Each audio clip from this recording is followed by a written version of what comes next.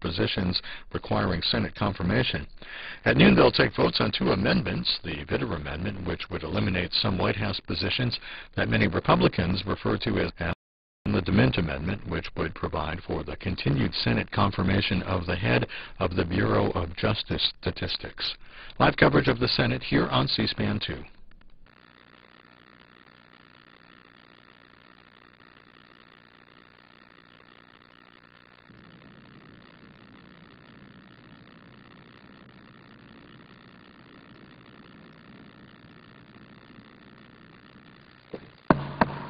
The Senate will come to order. The chaplain, Dr. Barry Black, will lead the Senate in prayer.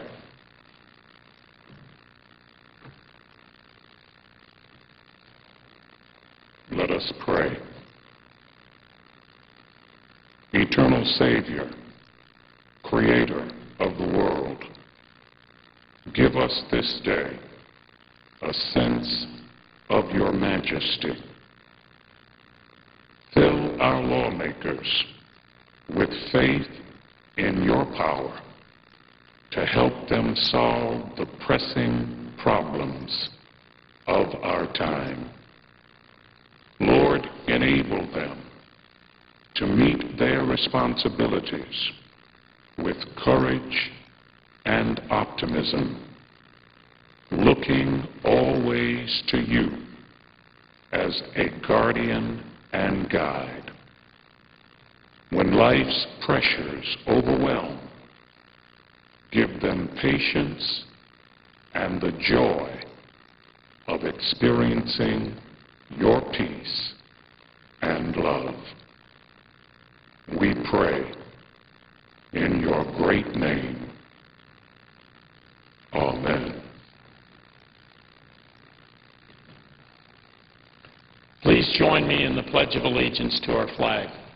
I pledge allegiance to the flag of the United States of America and to the republic for which it stands, one nation, under God, indivisible, with liberty and justice for all.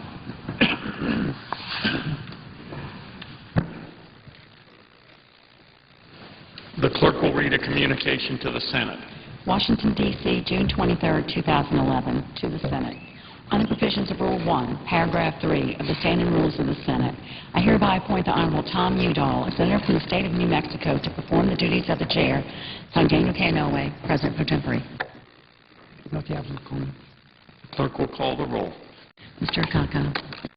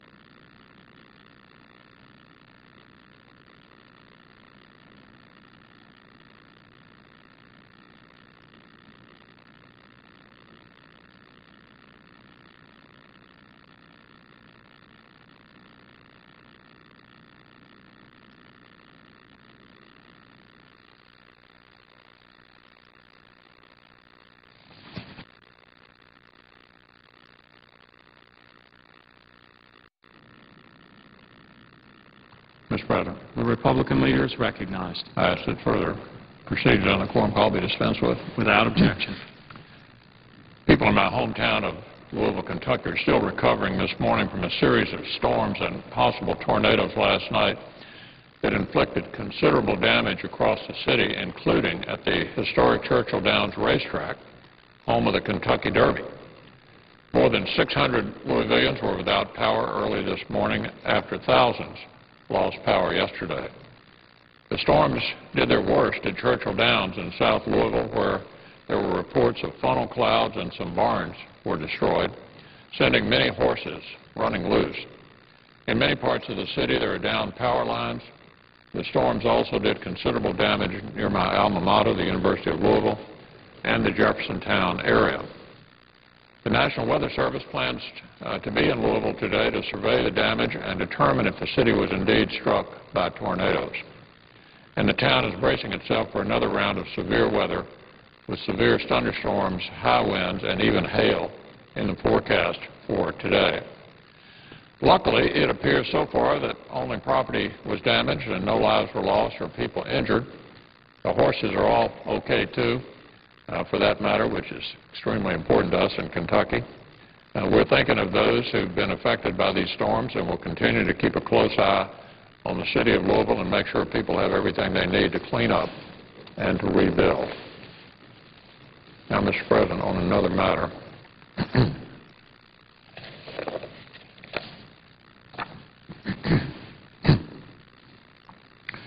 This morning I'd like to address uh, what I view to be a worrisome development in connection with the ongoing debt limit talks. Uh, but first, I think it's important that we remind ourselves what the purpose of these talks is. From the very beginning, the goal has been clear, to come up with a serious and significant plan for reducing the deficit as a condition for any agreement to raise the limit. Without such a plan, we're told, America could very quickly face an economic calamity of historic proportions at a time when millions of Americans are still trying to recover from the last one. As one of the major credit agencies recently put it, the rating outlook of the U.S. will depend on the outcome of negotiations on deficit reduction. A credible agreement on substantial deficit reduction would support a continued stable outlook. Lack of such an agreement would prompt Moody's to change its outlook to negative on the AAA rating.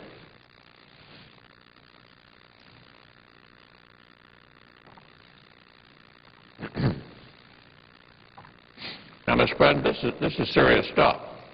And many of us have been hoping for and working toward a serious bipartisan solution, a plan that would convince the American people the markets, and the world that America is capable of getting its fiscal house in order. And let's be clear about something else here. We all know what such a plan would look like. Everyone, including the President, knows that we cannot rein in our debt without a reform of long-term entitlements. Cannot be done. And everyone knows that any serious plan would have to be in the trillions to get the job done. That's why even the Democratic chairman of the Budget Committee said this week that he wouldn't even support a plan that proposed to cut less than $4 trillion over the next 10, 10 years. And that's also why it's so concerning to many of us that some have begun to suggest a different goal for these talks. Over the past several days, some have suggested in various news stories that the real goal of these talks is to devise a plan that satisfies one side by reducing the debt and satisfies the other side by raising taxes. The suggestion here is that all this is all just some quid pro quo exercise between the two parties. This is a dangerous trend, and it is wrong. And I think it's important that we dispel it. The central issue in these talks, as every serious person knows, is our nation's massive deficit and debt and the disastrous long-term consequences for jobs and the economy that would result if we do absolutely nothing about it. We have this problem for one very understandable reason. The government spends too much. The way to solve it is to spend less. It's mystifying, really, that at the 11th hour, some would now propose tax hikes as a condition to any agreement.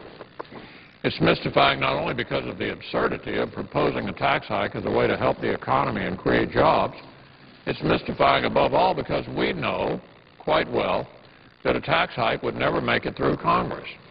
Not because of Republican opposition, but because of Republican and Democratic opposition. We've already had the votes to prove it. Six months ago, Democrats couldn't even muster enough votes to pass a tax hike, a, a tax hike on upper-income Americans when they had 59 seats in the Senate. 59 seats in the Senate and a 40-seat majority in the House and a Democrat in the White House. Couldn't get that done six months ago. Less than two weeks later, right after that effort to raise uh, taxes that they couldn't get done, they voted almost four to one in favor of keeping the current tax rates in place. Now, Mr. President, that was when the Democrats had a huge majority in the Senate, a huge majority in the House, and the President of the United States. They couldn't raise taxes. So there's one of two things going on here. Either someone on the other side has forgotten that there's strong bipartisan, bipartisan opposition in Congress to raising taxes, or someone involved is acting in bad faith. We've known from the beginning that tax hikes would be a poison pill to any deficit reduction proposal, a poison pill to any deficit reduction proposal. Those who are proposing them now either know this or they need to realize it very quickly. And that's to say nothing of those who are now proposing more spending as a solution to our debt crisis. This isn't just mystifying, it's absolutely farcical. I mean, most Americans had to wonder if they were dreaming this morning when they saw this headline. Quote, Democrats call for new spending in U.S. debt deal. It's unbelievable. More spending as a solution to the debt crisis? What planet are they on? All of which gets at the larger issue in this whole debate. And I'm here referring to the continuing silence of the one person who matters most to its outcome. For weeks, lawmakers have worked around the clock to hammer out a plan that would help us avert a crisis we all know is coming. Remember Admiral Mullen, the chairman of the Joint Chiefs of Staff, said, when asked what our biggest national security threat was, he said, our debt. Erskine Bowles, Bill Clinton's chief of staff, co-chairman of the Deficit Reduction Commission, called it the most predictable crisis in American history. But we all know this crisis is coming. And knowing at some point the president will have to sign on to some solution. So it's worth asking, where in the world has President Obama been for the last month? Where is he? What does he propose? What is he willing to do to reduce the debt? And to avoid this crisis that's building on his watch. He's the one in charge. I think most Americans think it's about time he started acting like it. It's not enough for the president to step in front of a microphone every once in a while and say a few words that somebody hands him to say about the jobs situation and our economy. Americans want to see that he's actually doing something about it. What they see instead is more bad economic news every day, a gathering crisis that threatens to make current problems even worse, and a president who's either unwilling, unwilling, or unable to recognize that our nation's economy is in very serious trouble. He's the president. He needs to lead. He needs to show that he recognizes the problem. He needs to do something about it. We're not in the majority. We can't sign anything into law. That is the president's job.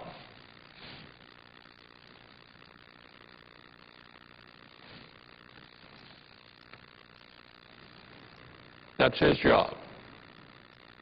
Yet until now, he stood in the background. He's acted as if it's not his problem. Well, it is his problem. This is his problem to solve. America is waiting. I yield the floor.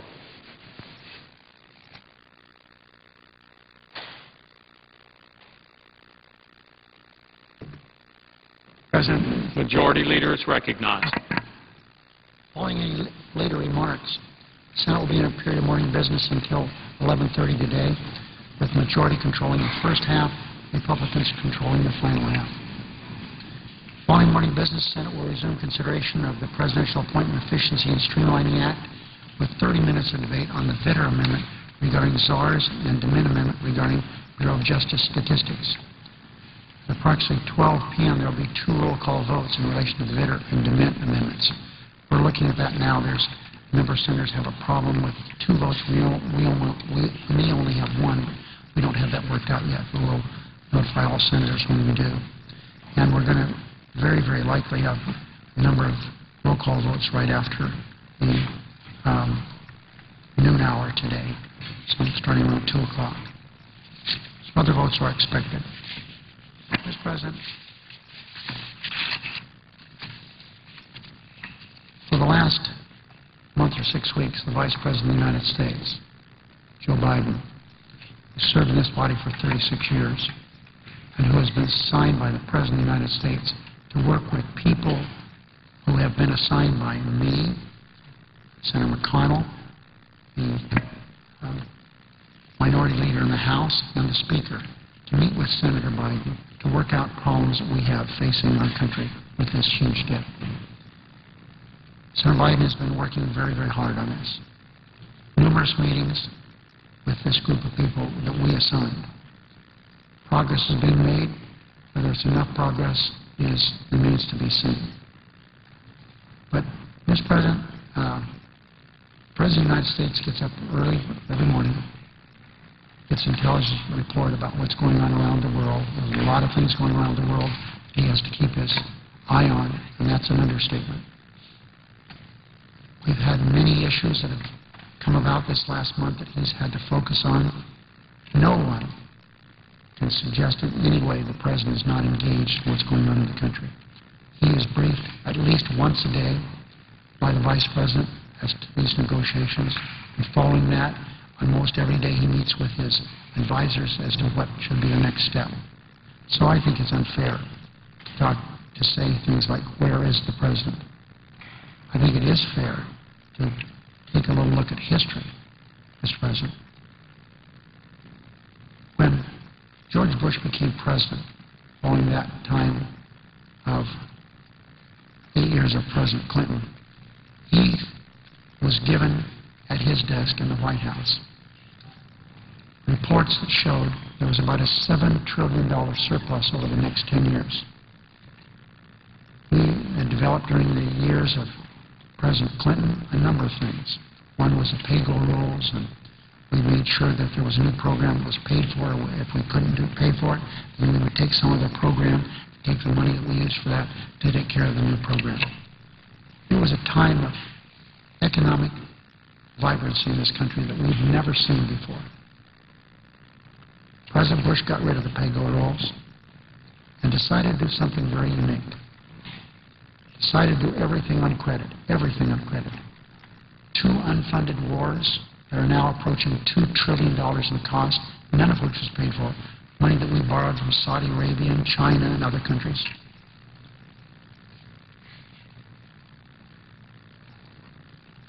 We gave, through President Bush, huge tax cuts that have been deemed by most all writers around America and around the country to be unfair. Paraphrasing what some believe is the richest man in the world, Warren Buffett said it's really unfair that he pays less taxes percentage-wise than his secretary. So this $7 trillion surplus we had over 10 years, the Bush administration wiped that out with all these wars unpaid for and all of these tax things and other things that were done. President Obama became president. There had been 8 million jobs lost. He found himself in a big hole. Now, I think one of the things we should do is stop denigrating the economy of our country. Is it vibrant and strong? Of course not. But it's improving. It's getting better. Not fast enough, not good enough, but it is improving.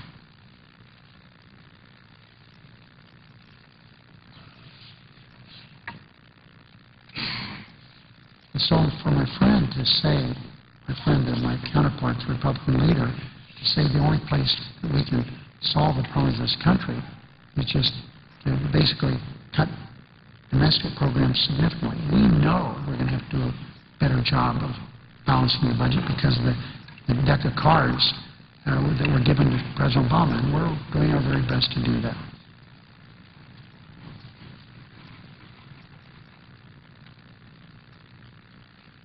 But the one interesting thing that my friend failed to mention, because he talked about the Bowles-Simpson debt reduction program, is they said, among other things, of course, we have to make significant cuts in domestic discretionary spending, in defense, in mandatory programs. They looked at some of the work we need to do with entitlements, but they also said there had to be something done with revenue. My friend ignores what they said about that. And the other thing that they said, that is Bowles-Simpson, together with the people that were on that commission, the number of appointments I made to that commission, they said, yes, we need to do some cutting, but these next few years, we have to spend some money to create jobs. And we hear not a word from my Republican colleagues about creating jobs. The House of Representatives, all they do is flex their muscles on things that they want to eliminate. But the one thing they don't talk about is creating jobs. Not a word. Now, Mr. President, this week my Republican colleagues killed their fourth jobs bill this year. The proven Economic Development Administration reauthorization was common sense legislation with a proven track record of spurring innovation and hiring by private companies. Because for every dollar we spent as a government, seven dollars came back in return from the private sector. And they killed our fourth jobs bill this year. It seems Republicans don't care about putting Americans back to work. They don't even pay lip service to the issue. Americans have said there they care more about creating jobs than anything else. In fact, yesterday, the junior senator from Tennessee, a Republican, said right here on the Senate floor that this effort to create and protect, as we did the last few years, 314,000 jobs was, quote, nothing of importance. That's a direct quote. I'm confident that 14 million Americans out of work today, including many from Tennessee and every other state in our country, would disagree with the senator from Tennessee. He also went on to say, this junior senator from Tennessee, I repeat, is a Republican, went on to say that this worthy legislation, our fourth jobs bill of this Congress, was nothing more than an attempt, quote, to kill time. So he said that it's an attempt to kill time. He went on also, I repeat, to say that it was unimportant. Republicans may consider job creation a waste of time, but Democrats disagree and Americans disagree. Democrats, Republicans, and independents alike. And we all, and we're not going to stop fighting to put Americans back to work until we get our economy back on track. We can't solve our problems without helping jobs to be created. Congress has no more important task than creating jobs. There's no better way for us to spend our time. There's no issue more important than job development. This legislation, which again would have supported 314,000 jobs as it did the last five years, was an important part of that effort. But, Mr. President, don't take my word for it. The junior senator from Tennessee said this about the Economic Development Administration just two years ago. This is what he said prior to his saying that it was a waste of time, prior to his saying that it wasn't of importance. Here's what he said. This is a direct quote less than two years ago. Quote, in the midst of an economic crisis, projects like these are just the kind of things that will renew confidence and reinvigorate private investment in the area. That's what he said. End of quote. He said EDA funds protect jobs and support economic growth. Why then didn't he vote that way? No wonder the juniors Republican senator from Tennessee had such high praise for the program. EDA investments over the last five years an estimated now 7,000 jobs in Tennessee. But in spite of his previous support, he voted to kill this worthy legislation anyway. And he's not the only Republican whose words don't match their actions.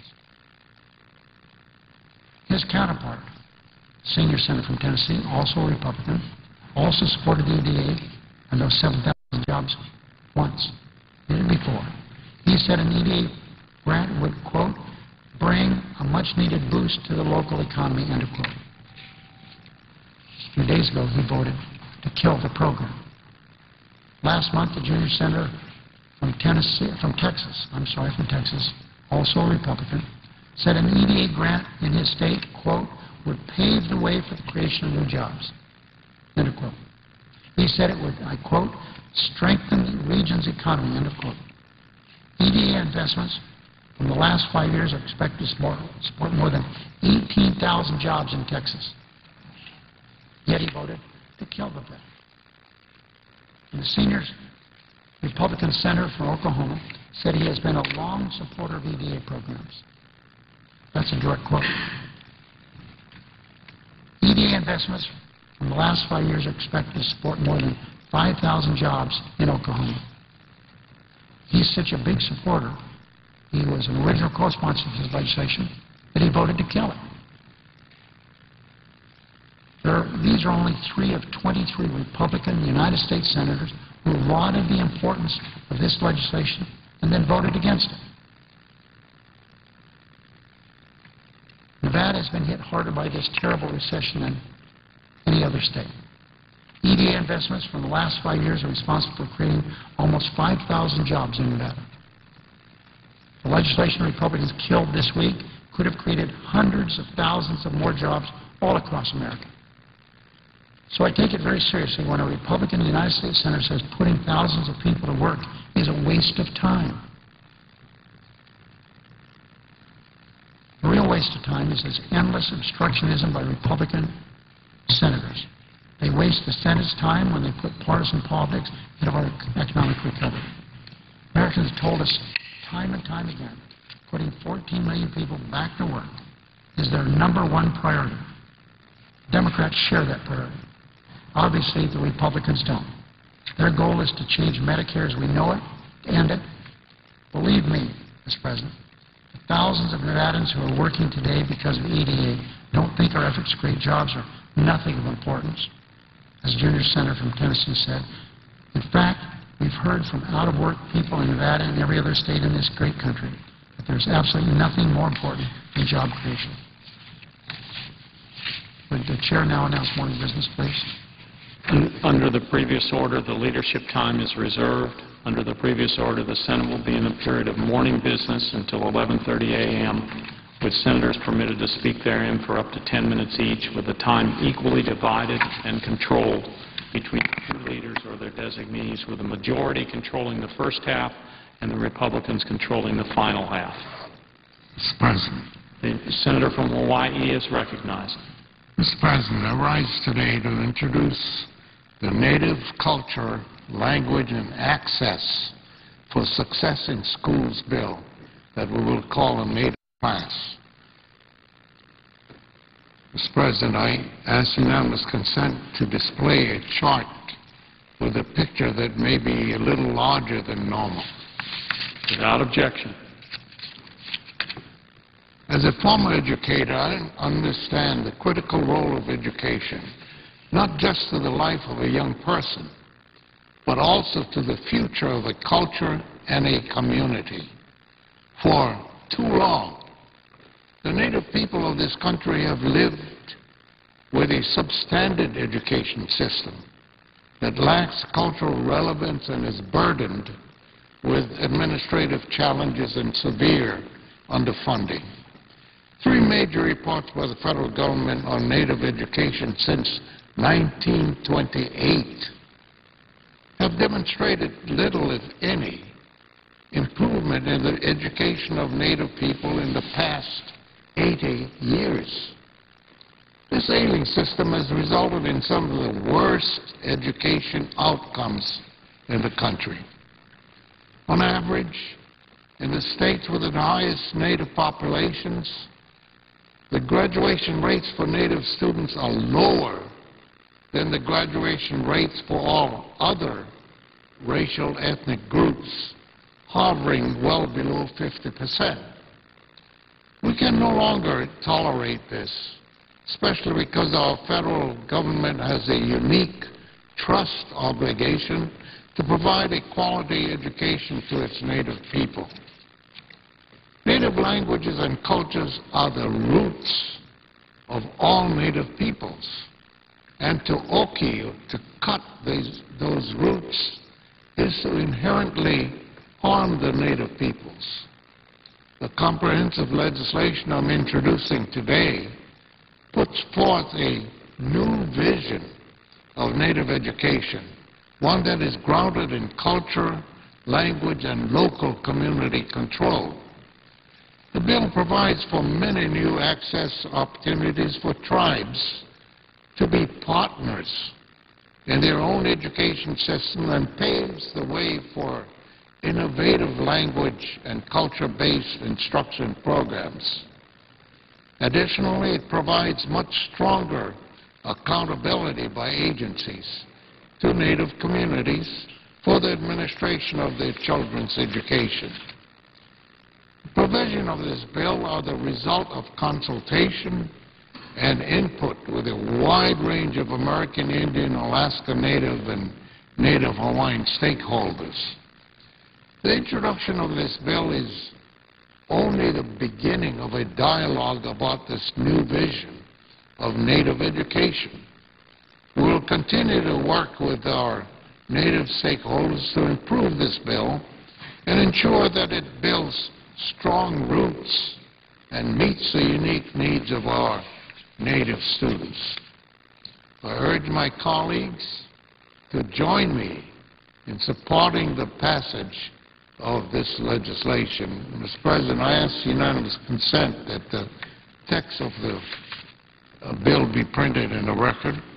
Without objection. And, Mr. President, I,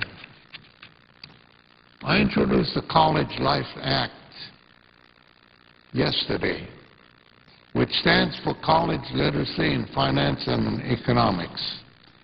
My bill is a response to the dire need in our country for greater financial literacy among young adults. Financial literacy is an empowering skill. Those who have a sound understanding of personal finance and economics are better prepared for the pivotal moments in life where decisions about money must be made. For many of us, financial independence begins during our or immediately after college and brings with it new opportunities and challenges. As young adults, we make choices about purchasing a car and buying with credit cards instead of cash. From then on, financial choices increase in cost and magnitude. The financial decisions we make as young adults determine whether we go through life on sound financial footing. Given the tremendous importance of my and early childhood financial choices and actions, it is troubling how unprepared young adults are for these challenges. Too few students have opportunities to learn about personal finance or economics before they enter college. A recent survey by the Council for Economic Education found that only 21 states require students to take a class in economics as a requirement for graduation. Only 13 states require a course in personal finance. Furthermore, parents are often unreliable sources of financial education because Many are financially illiterate themselves. Even as we acknowledge widespread financial illiteracy among young adults, we allow students in higher education to take on alarming levels of debt during college. Borrowing to pay for school has become the norm. Two out of every three students receive some type of financial aid. At for-profit colleges, 96% of students borrow to pay for school. When students graduate, they have significant debt, with the median debt level being over $23,000. Meanwhile, the average student credit card balance rose from around $1,400 in 2002 to $2,000 today. Given what we know about the lack of student financial literacy, this is not surprising. Mr. President, the, the increase in federal educational lending and student debt can be interpreted positively.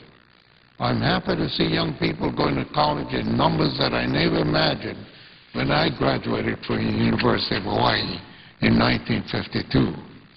For best and brightest college uh, is still a stepping stone on their path to becoming uh, future leaders. However, for millions of others today, college simply and rightfully represents the opportunity for better lives for themselves and their families. But the rising cost of education is a reality that we must address. Mr. President, the College Life Act begins to address this void in young adult financial education. It would provide financial literacy counseling to all college students who take out federal educational loans when they begin and leave school. First disbursement of a student loan and departure from schools are two timely opportunities for young adults to learn the importance of responsible financial behavior without those lessons coming at their own expense.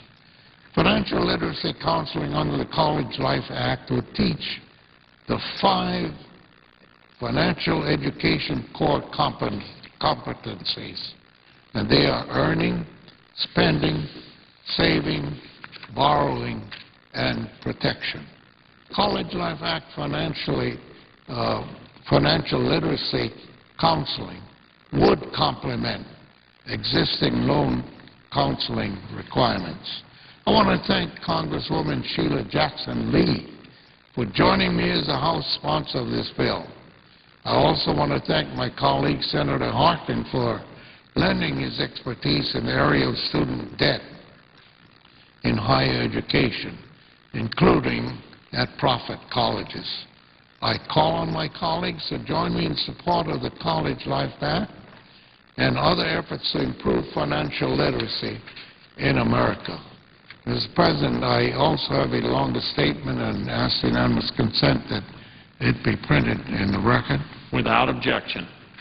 Thank you, Mr. President. I yield the floor.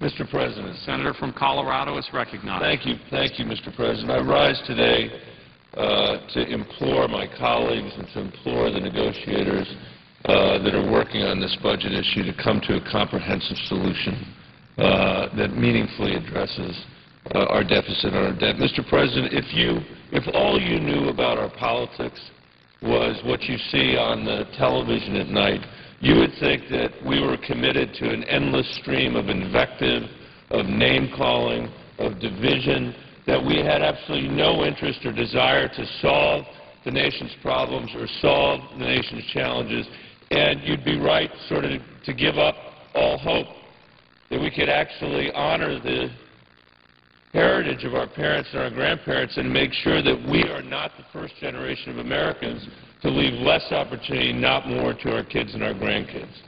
That's what you might think if all you knew about our country was what you saw on the TV at night. Fortunately, I have had the privilege, as said everybody in this body, to travel my state and to learn that actually the American people are nowhere near as divided as Washington, D.C., or as what you see on the television at night. In fact, we share an awful lot in common in my state of Colorado, whether we're Republicans or Democrats, independents, and part of that is because we're going through the worst, coming out of the worst recession since the Great Depression. By the end of the discussion I was having during the campaign over the last couple of years, there were about four things that people thought might be a good idea. They thought it'd be good to have an economy in this country where median family income was actually rising instead of falling, that we were creating jobs in the United States instead of shipping them overseas. They thought it would be a good idea if our energy policy did not require us to send billions of dollars a week to the Persian Gulf to buy oil. They thought it would be a good idea, and as a former school superintendent, I agree with them, a good idea if we were educating our kids for the 21st century. And they thought it would be a good idea if we actually were willing to make some hard choices to deal with our debt and our deficit. And there's a lot of disagreement around here that I don't really understand, but in Colorado, the way they would like us to do that is that they would like to see a comprehensive plan that materially addresses the problem. They know we can't solve it overnight, but they'd like to see us materially address the problem. They want to know that we're all in it together. They're not interested in the Washington game of whose ox is going to get gored. They want to know that we're all in it together, that all of us have something to contribute to solving this problem. They emphatically want it to be bipartisan, which is good because we have a divided Congress now, and it needs to be bipartisan to get this work done. And the reason is that they don't trust either party's go-it-alone strategy on this. And they're, uh, they're right, I think, to believe that we're better off compromising on a set of comprehensive proposals than, than continuing to fight. I'd add a corollary to it, which is that whatever we do, better satisfy the capital markets that their paper is worth what they've paid for it. Because if they're unsatisfied, we're going to be in an interest rate environment that is going to make all of the discussions that we've had about cuts seem trivial in terms of its effect on our deficit and our debt. And then I come here and we have these phony conversations about solving the problem. We had a discussion, Mr. President, you'll remember, about whether we ought to shut the government down. And I did the math on the bid and the ask spread about, you know, that divided the two parties over whether we were going to shut the government down. And that math uh, equaled about 4 cents on the $20 meal at Applebee's. Be like you and me, Mr. President, fighting over that 4 cents because we couldn't figure out how to pay the bill. It would be like the city of Alamosa in my state, in the San Luis Valley, where my predecessor Ken Salazar came from. You're like the mayor saying, we can't agree on $27,000, so we are going to shut the government down. We're not going to pick up your trash. We're not going to educate your kids. The American people should know that's what that debate was about. Now we come to the debt ceiling debate, where people are saying, we are not going to vote to raise the debt ceiling. And somebody in a town hall said to me the other day, Michael, don't you know that me and my neighbor are having to figure out how to pay as we go? We're having to figure out how to pull in our purse strings to make sure that we can afford uh, to do what we need to do. And I said, I absolutely agree with you. They said, well, why aren't you guys showing the same restraint? And I said, we need to show the same restraint, but that's not about the debt ceiling. The debt ceiling is about bills we've already incurred. It's not about cutting up your credit card. It would be great if it were. That's not what it's about. It's about saying, I got a cable bill this month and I'm just not going to pay it. I got my mortgage this month, but I'm just not going to pay it. That's not fiscally responsible. In fact, you know what happens to people that do that?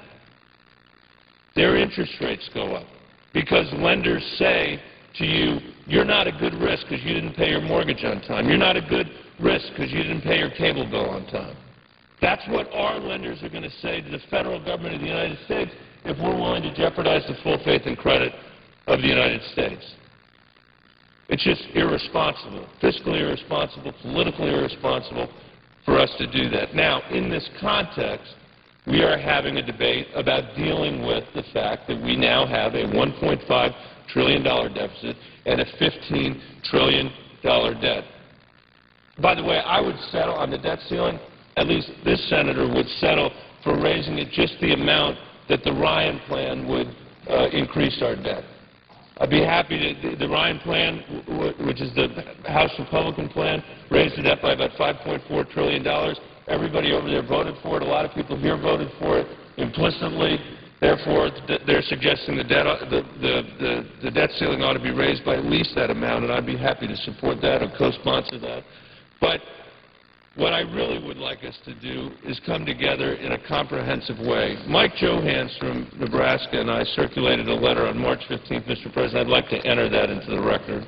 Without objection. And we, we sent it around to people, and it was a letter to the President that said that specifically, quote, we hope that the discussion will include discretionary spending cuts, entitlement changes, and tax reform.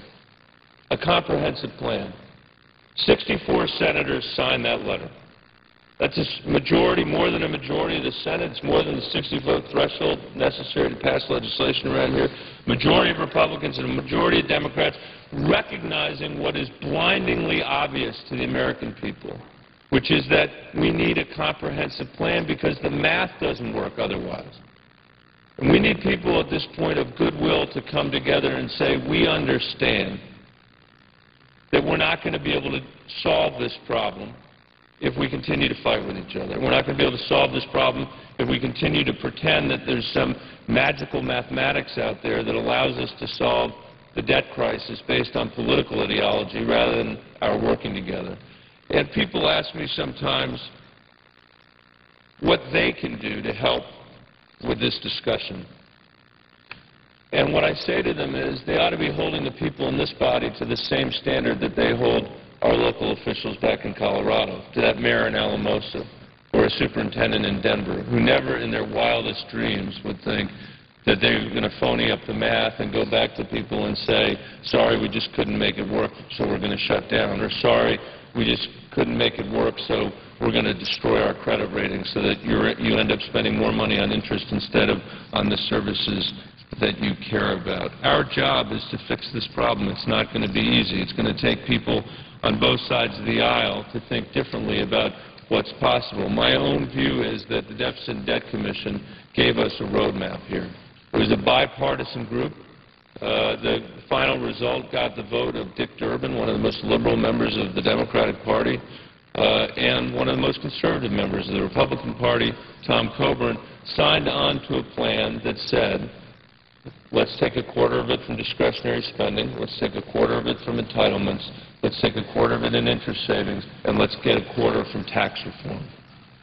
That sounds about right to me.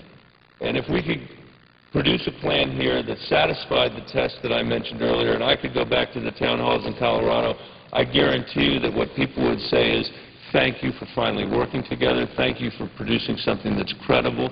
Let's now move on to the other business in this country to make sure that we can compete and win in the 21st century. So I would say that I, I hope to the extent that anybody is listening to the floor today uh, that they would think again about the importance of using this moment to try to create a comprehensive plan, to try to figure out what the compromises are. And I for one, am happy to work with anybody on either side of the aisle to make sure we get this done. I see that the chairman of our Budget Committee is here, Mr. President, and I want to thank him uh, for his efforts on the Debt and Deficit Commission uh, and also for the work that he's been doing with the Gang of Six or Gang of Five, trying month after month after month for the last 18 months to produce a comprehensive plan that actually addresses the problems. With that, I yield the floor. Thank you, Mr. President. Mr. President. Senator from North Dakota is recognized. I want to thank the senator from Colorado for his remarks and for his leadership. Uh, he has been right on point with respect to what has to be done in this country to get the debt threat under control. And make no mistake, we do face a debt threat of ominous proportions. Yesterday, the Congressional Budget Office again warned us, debt crisis looms absent major policy changes. And if you go to the end of this article that was from the Associated Press, Mr. Andrew Taylor, respected writer, CBO says the debt increases the probability of a fiscal crisis in which investors lose faith in U.S. bonds and force policymakers to make drastic spending cuts or tax hikes. Mr. President, that is where we are headed if we do not respond. And it is going to require a bipartisan response, Republicans and Democrats, because Republicans control the House of Representatives, Democrats control the U.S. Senate, and there's a Democrat in the White House. So when Republicans, as they, I just heard on this floor, blame it all on the president, that's not going to work. That's not going to work. Because Republicans can block anything in this chamber and Republicans control the House of Representatives. So guess what? They're going to have to join Democrats in being responsible. And being responsible means doing some things that are tough. Republicans and Democrats are going to have to do some things that are tough. Why? Because we're borrowing 40 cents of every dollar we spend. Mr. President, that cannot be continued much longer. Mr. President, if you look at the historic relationship between spending and revenue, here it is going back to 1950. The red line is the spending line. The green line is the revenue line. And what you see is spending as a share of national income is the highest it has been in 60 years. Revenue is the lowest it has been in 60 years. When I hear my Republican friends say this is just a spending problem, they've got it half right. It is, in part, a spending problem. Spending is the highest it's been in 60 years, or very close to it. But revenue is the lowest it's been in 60 years. So let's get real. Let's get honest. This is a spending problem and a revenue problem. It is the difference between the two that leads to record deficits and a debt that is spiraling out of control. Here's what the head of our armed forces said. The head of our armed forces, Admiral Mike Mullen, the chairman of the Joint Chiefs, last year at about this time. Our national debt is our biggest national security threat. Colleagues, are you listening? Are you listening? We are moving at warp speed toward a fiscal crisis. Nobody can tell us when it will happen. What everyone is telling us is that it will happen. Mr. President, here's where we are. This is the gross debt of the United States. We're now, at the end of this year, going to be over 100% of our gross domestic product. That is going to be the gross debt of the United States, all the bills that we owe. And this line, this black line, is the 90% threshold line. Why does that matter? Because, Mr. President, we have just had the definitive economic study done on deficits and debt and economic growth. It was done by Professor Carmen Reinhart of the University of Maryland no longer there, but she was at the University of Maryland, and Ken Rogoff at Harvard. Here's what they concluded. We examined the experiences of 44 countries spanning up to two centuries of data on central government debt, inflation, and growth. Our main finding is that across both advanced countries and emerging markets, high debt to GDP levels, gross debt of more than 90 percent, are associated with notably lower growth outcomes for the future. So this isn't just about numbers on a page. This is about the future economic prospects of our nation. A failure to act will consign us to a more limited future. Fewer jobs, less economic growth, less, less economic activity, a weaker position for the United States in the world. That's where we are headed and we have been warned repeatedly. Here's the S&P, the major rating agency, signals top credit rating is in danger, stoking political battle on deficits. U.S. warned on debt load.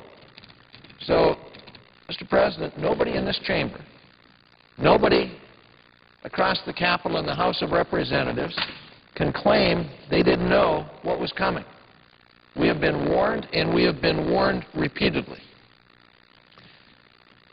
What happens if we don't act and there is a reaction in the, in the, rate, the interest rate uh, environment for the United States debt?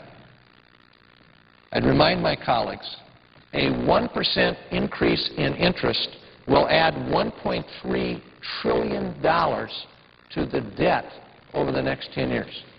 1% change in interest will add $1.3 trillion to the debt over the next 10 years.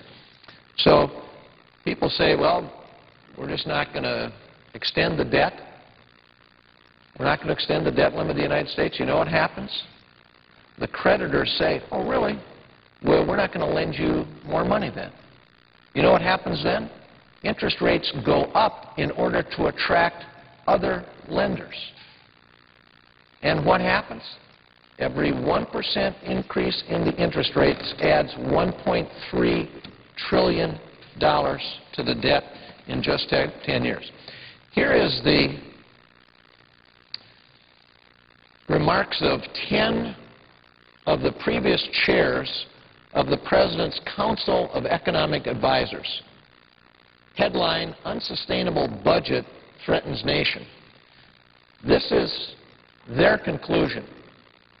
The top economic advisors to former presidents, Democrats and Republicans, the previous 10 unanimously said this.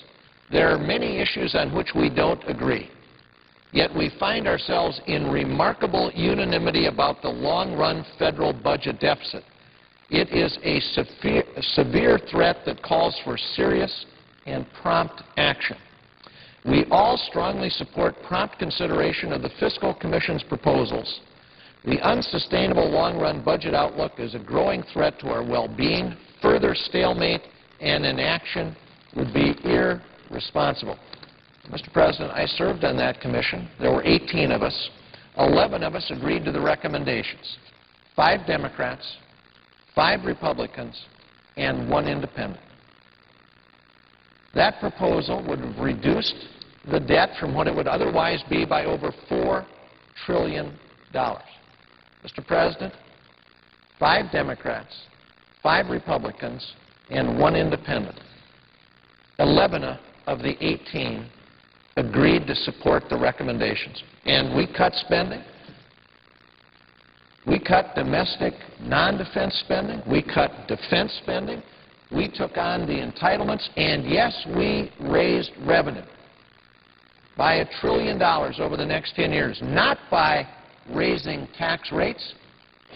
In fact, we cut tax rates, but we still got more revenue because we expanded the tax base by reducing tax expenditures that are now running, running $1.1 trillion a year.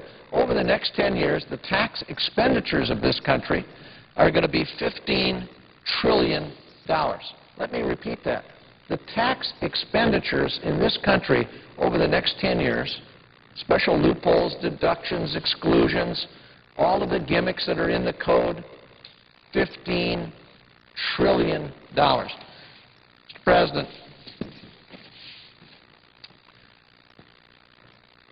not only did the Fiscal Commission come up with a recommendation of about $4 trillion, Every other bipartisan group that has made a recommendation has called for debt reduction of about 4 trillion over the next 10 years from what it would otherwise be. The Fiscal Commission, the Bipartisan Policy Center, the American Enterprise Institute, the Center for American Progress, the Heritage Foundation, the Roosevelt Institute, all of them saying we need to get this debt down.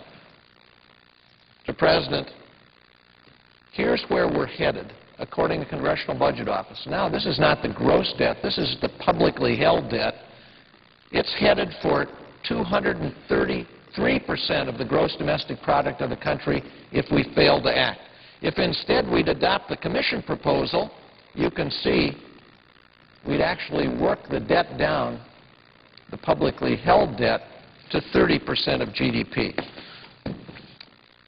Mr. President, every part of the budget has to be scrutinized and has to generate savings. Here's what's happened to defense spending since 1997. It has gone straight up from $254 billion a year to $688 billion a year. Mr. President, Secretary of Defense Gates said this, the budget of the Pentagon almost doubled during the last decade but our capabilities didn't particularly expand. A lot of that money went into infrastructure and overhead and, frankly, I think a culture that had an open checkbook. Mr. President, I think he got it right. And when we look at this growing debt, where did it come from? Washington Post just had this report on May 1st. The biggest culprit by far has been an erosion of tax revenue triggered largely by two recessions and multiple rounds of tax cuts. Together, the economy and tax bills enacted under former President George Bush and to a lesser extent by President Obama wiped out $6.3 trillion in anticipated revenue. That's nearly half of the $12.7 trillion swing from projected surpluses to real debt. Mr. President, if we look back on the five times we've balanced the budget in the last 30 years, uh, 40 years, revenue has been close to 20% of GDP. 19.7 in 1969, 19.9 in 1998, 19.8 in 1999, 20.6 in 2000, 19.5 in 2001. Where's revenue today? 14.5% of GDP. And our friends across the aisle say it's only a spending problem. Let's get real. It is a spending problem and it is a revenue problem. Let's be honest with the American people. Mr. President, Martin Feldstein, the distinguished conservative economist, said this, cutting tax expenditures is really the best way to reduce government spending.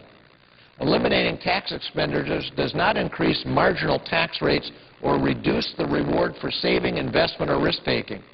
It would also increase overall economic efficiency by removing incentives that distort private spending decisions and eliminating or consolidating the large number of over, overlapping tax-based subsidies would also greatly simplify tax filing.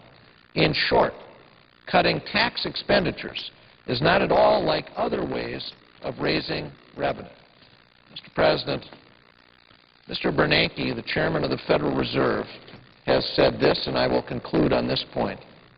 Acting now to develop a credible program to reduce future deficits would not only enhance economic growth and stability in the long run, but could also yield substantial near-term benefits in terms of lower long-term interest rates and increased consumer and business confidence. Mr. President, this is a defining moment for our country, a defining moment. We can either continue to run headlong toward a debt crisis, or we can join together Republicans and Democrats, in a comprehensive plan to get our debt under control. That will require a comprehensive plan, one that addresses spending. Spending must be reduced. But it needs to be reduced when this economy is stronger. That's what every one of these bipartisan commissions has concluded. Yes, spending's got to be cut, but not right this minute. It's got to be part of a plan that assures it will be cut, and it's got to be every part of spending. Domestic discretionary spending, defense spending. Yes, the entitlements have to be right-sized, and we've got to have additional revenue, given the fact, the simple fact, revenue is the lowest it has been in 60 years as a share of our GDP. Far lower than it has been in every one of the five years we've balanced the budget out of the last 40. Mr. President, I urge my colleagues on both sides, on both sides, now is the time for principled compromise. Now is the time to come together to put in, in place a plan that deals with this death threat fundamentally and assuredly. We've got that opportunity. We should not let this opportunity slip by. I thank the chair and yield the floor.